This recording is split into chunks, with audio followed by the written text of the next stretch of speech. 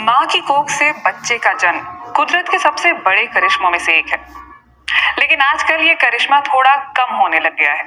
भारत में हर पाँच में से एक डिलीवरी सिजेरियन से होती है। बाकी के देशों का तो और भी बुरा हाल है। और ऐसा क्यों है?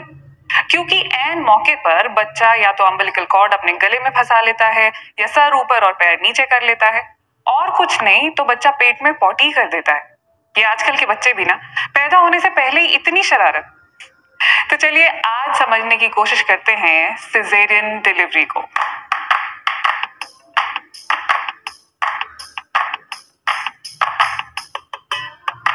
फ़िल्मों में कितना आसान होता है ना? अचानक से औरत को दर्द उठता है और सब कहते हैं, इन्हें फ़ौरन अस्पताल ले जाना होगा। फ़ौरन मतलब एकदम फ़ौरन। बच्चा बाहर निकलने को बेताब है। अगर फ़ौरन एक मिनट में लेकर नहीं गए तो सड़क पर ही डिलीवरी हो जाएगी। डिलीवरी एक लंबा प्रोसेस है। लेबर पेन शुरू होने से लेकर बच्चे के पैदा होने तक बीच में बहुत कुछ होता है। हाँ अगर बच्चा ऑपरेशन से यानी सिजेरियन के ज़रिए हो रहा है तो बात अलग है। तो चलिए इसे समझने के लिए आपको ले चलते हैं ऑपरेशन थिएटर के अंदर ही। सिजेरियन या सी सेक्शन से पहले पूरे पेट को डिसइंफेक्ट किया जाता है। ऑपरेशन वाली पूरी जगह को डिसइंफेक्टेड कपड़े से ढका जाता है। शरीर पर एनेस्थीसिया का असर पूरी तरह हुआ है या नहीं ये देखने के लिए डॉक्टर पेट को थोड़ा हिलाकर चेक करते हैं। महिला ने कोई प्रतिक्रिया नहीं दी यानी सब कुछ सही चल रहा है। वो होश में है बस एनेस्थीसिया के कारण दर्द महसूस नहीं कर रही है। इसलिए अब डॉक्टर चीरा लगा सकते हैं। और चीरा लगते ही चंद मिनटों के अंदर बच्चा पेट से बाहर आ जाता है। सी सेक्शन वाकई बहुत जल्दी हो जाता है। लेकिन इसका मतलब ये बिल्कुल नहीं है कि ये कोई छोटा मोटा ऑपरेशन है।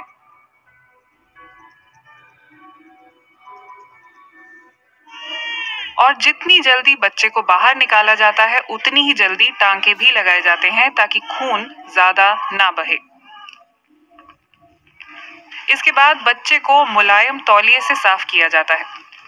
जर्मनी में नवजात शिशु को नहलाया नहीं जाता, क्योंकि डॉक्टरों का मानना है कि साफ़ पानी भी उसे नुकसान पहुँचा सकता है। ऑपरेशन थिएटर में अक्सर पिता भी माँ के साथ ही होते हैं। हाँ बीच में एक पर्दा ज़रूर लगा होता है ताकि उन्हें खून का सामना ना करना पड़े। लेकिन नॉर्मल डिलीवरी में ये पर्दा नहीं होता है, क्योंकि नॉर्मल डिलीवरी जो है वो ऑपरेशन से नहीं होती है, इसलिए ना ही उसमें इतना गहरा चीरा लगता है और ना ही इतना खून निकलता है। सिजेरियन एक बहुत बड़ा ऑपरेशन होता है। बच्चे तक पहुँचने के लिए काफ़ी गहरा चीरा लगाना होता है। हाल ही में एक वीडियो वायरल हुआ जिसमें एक डॉक्टर माँ अपने चार साल के बेटे को समझा रही हैं कि सी सेक्शन कैसे होता है। वो उसे बता रही हैं कि सबसे पहले स्किन पर एक कट लगाया जाता है। उसके बाद स्किन के नीचे फैट की एक लेयर होती है। इससे गुजरते हुए मांसपेशियों तक, यानी मसल्स तक पहुँचते हैं। जब ये कट जाती है, उसके बाद यूटरस तक पहुँचते हैं। यूटरस के अंदर एमनियोटिक सैक होता है।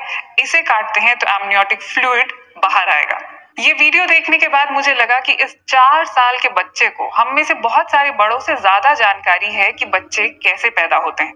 और क्योंकि हमें कुछ खास जानकारी नहीं है, इसलिए कई बार डॉक्टर कुछ भी कहकर हमें फुसला लेते हैं। जैसे कि ये कि बच्चे ने गर्भनाल अपने गले में फंसा ली है।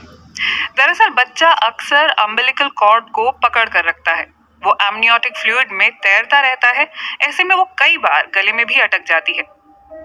लेकिन ज़्यादातर मामलों में वो खुद ब खुद गले से निकल भी जाती है। ज़ाहिर है एन मौके पर डॉक्टर आपसे इस तरह की कोई बात कहेंगे तो आपको उनकी बात माननी होगी। डब्ल्यू के अनुसार सिजेरियन सेक्शन सिर्फ़ तब करना चाहिए अगर बच्चे या माँ दोनों में से किसी एक की जान को खतरा हो। वर्ल्ड हेल्थ ऑर्गेनाइजेशन सिर्फ़ 10 से 15 फ़ीसदी मामलों में ही ऐसा करने की हिदायत देता है। लेकिन क्या आप जानते हैं कि दिल्ली का हाल क्या है? एक आरटीआई एप्लीकेशन के जवाब में बताया गया कि दिल्ली के अस्पतालों में पैंसठ फ़ीसदी डिलीवरीज सिजेरियन के ज़रिए होती हैं। आप खुद ही सोच कर देखिए, क्या पैंसठ फ़ीसदी मामलों में इमरजेंसी होती होगी? नॉर्मल डिलीवरी में बहुत लंबा वक्त लगता है, और सिजेरियन में सिर्फ़ कुछ मिनट। तो ज़ाहिर है कि ये फ़ायदे का सौदा तो है ही, लेकिन जच्चा और बच्चा दोनों को इससे नुकसान होता है। स्टिचेस ठीक होने में कई बार महीने लग जाते हैं, और बच्चा नॉर्मल डिलीवरी बच्चे के लिए काफ़ी तनावपूर्ण होती है, लेकिन ये तनाव ज़रूरी होता है। इस तनाव के कारण ऐसे हार्मोन निकलते हैं जो बच्चे के शरीर में कई ज़रूरी प्रोसेसेस को शुरू करते हैं।